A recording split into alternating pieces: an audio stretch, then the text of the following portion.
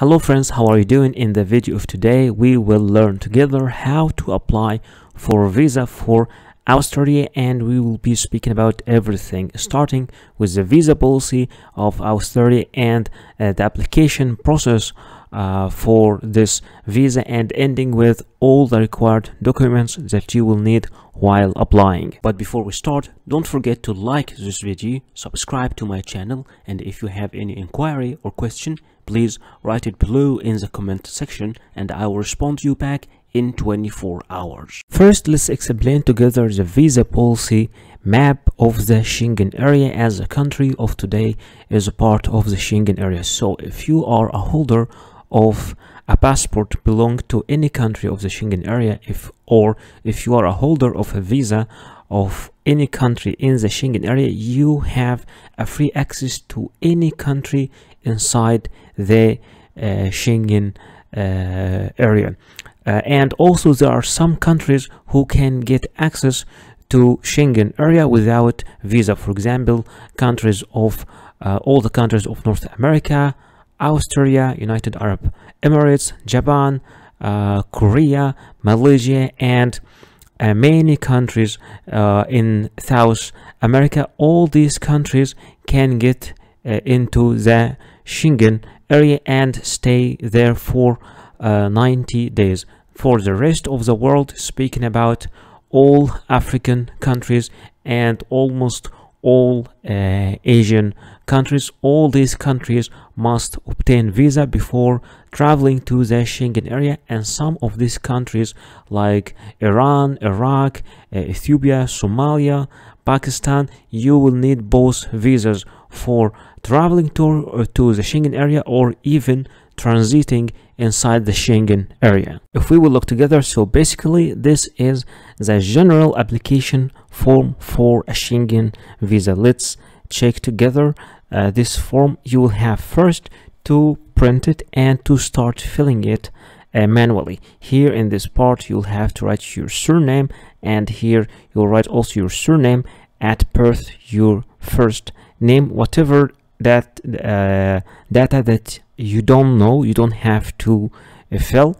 Uh, the date of birth the place of birth your country of uh, birth your current nationality or if you have any other uh, nationality.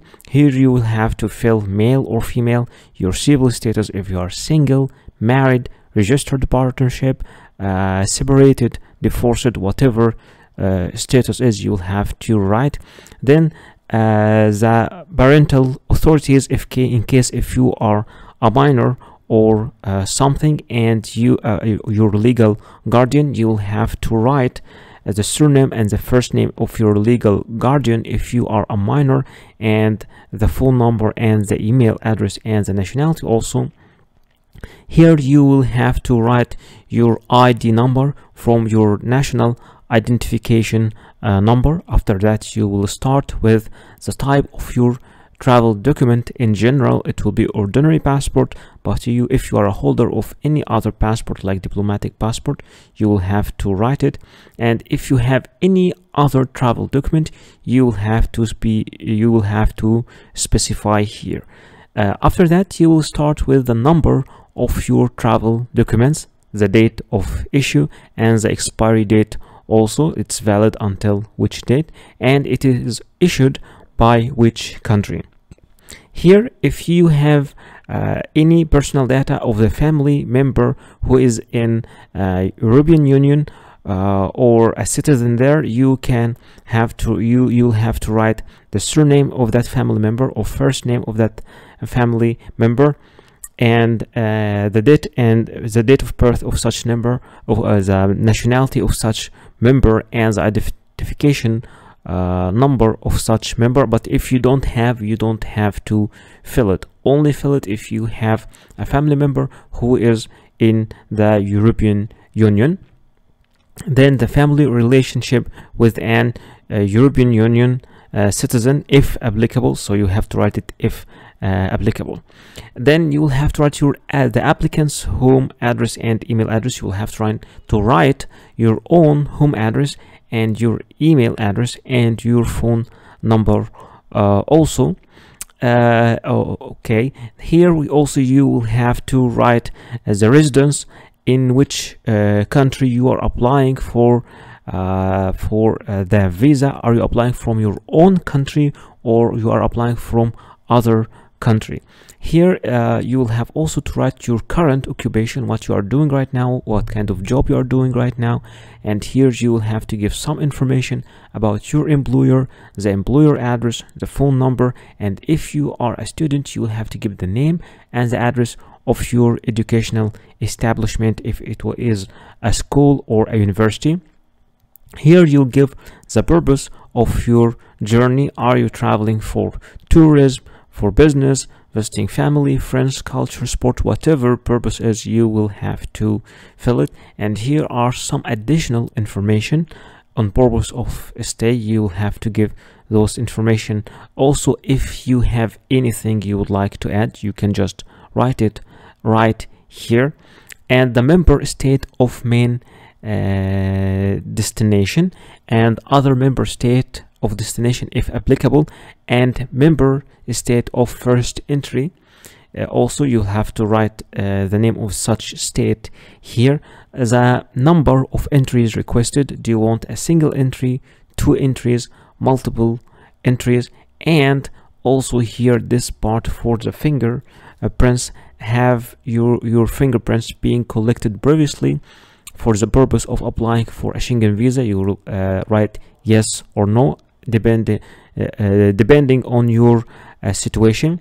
The entry permit for the final country of destination where where applicable if it is applicable also will be issued by and valid from that day to that day.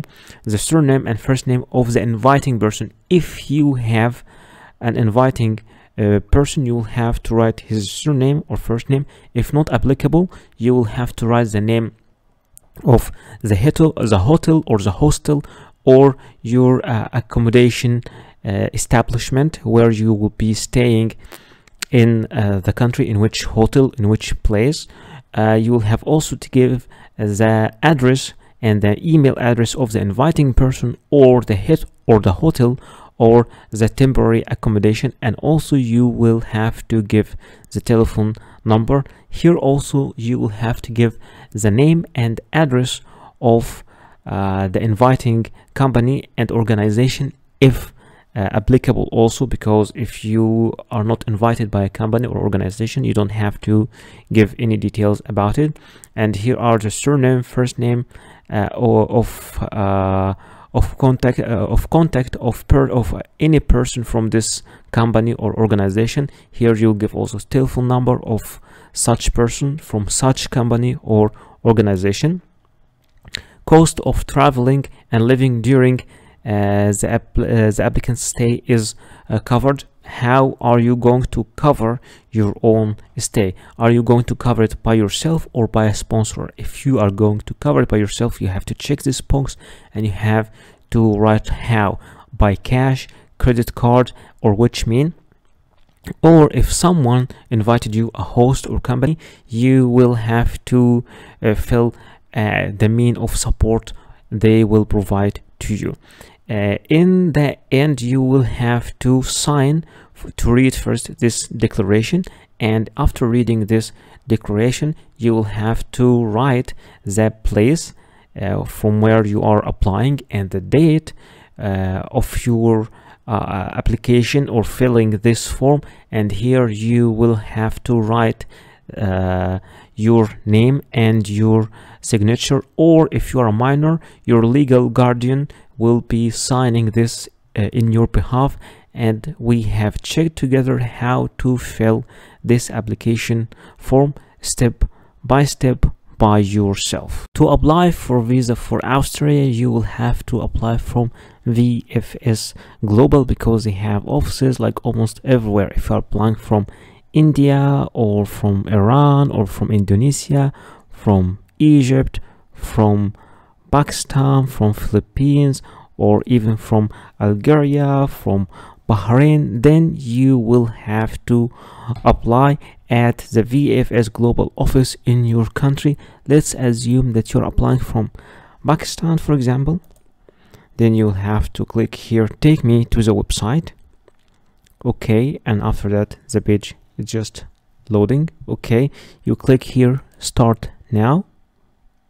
In this part identify visa type. You can uh, check any visa type the details of any visa type you want. And here by clicking on begin your application you can download the application uh, form from uh, here. And after that by booking and for booking an appointment you can click book an appointment. And by clicking book an appointment. This page will appear in front of you. You will have to click book now. You'll have to create an account and choose the um, the timing that you want for making your uh, appointment. After that you'll have to go and pay your fees.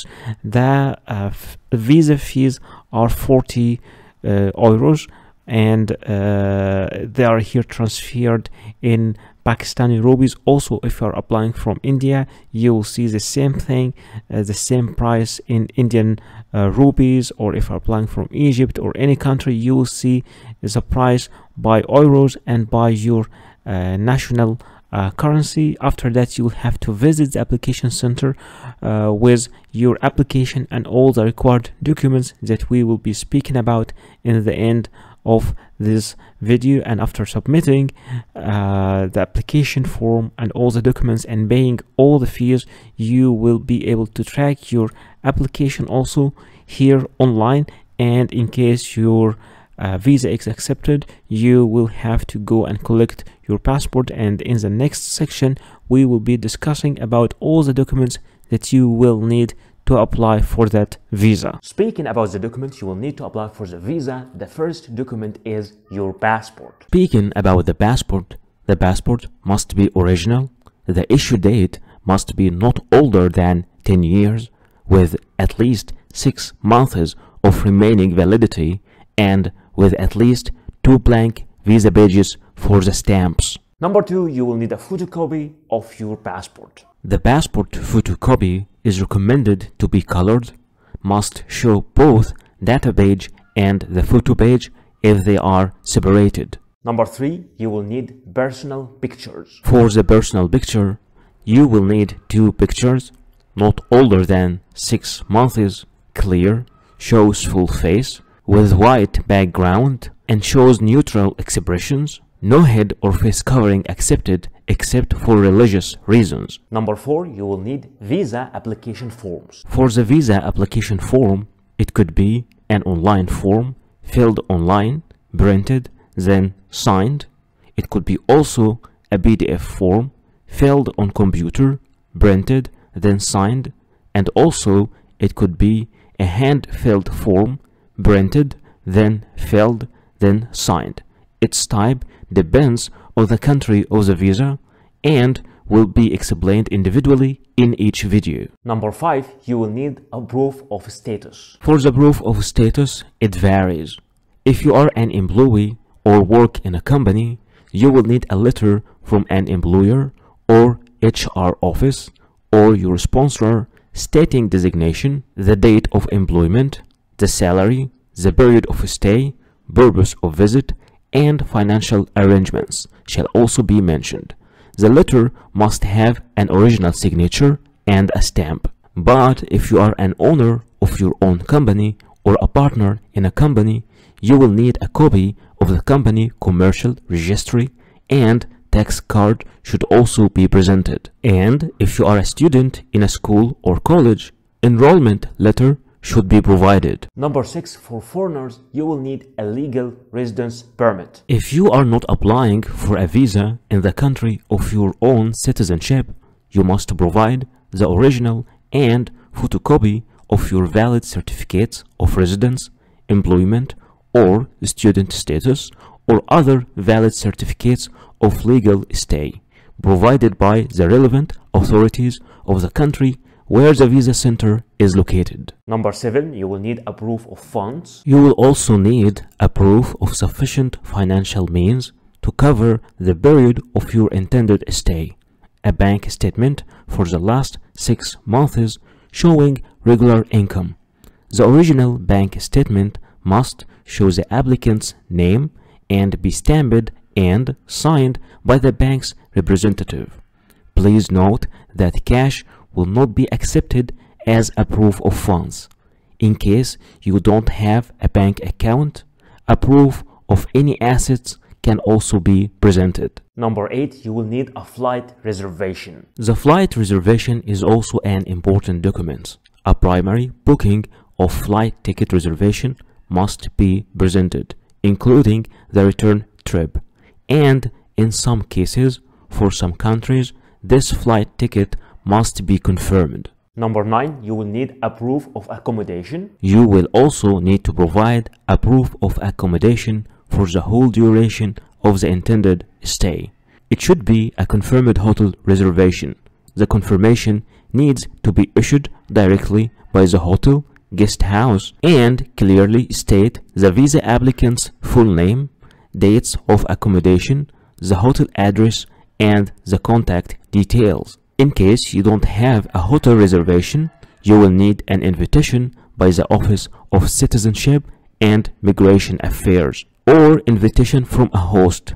The host can be company, friends, family, and it should indicate the address of accommodation. And those are some sites you can use to book your accommodation place. Number 10, you will need a health insurance certificate. In many cases, you will need a travel insurance certificate, especially for Schengen countries.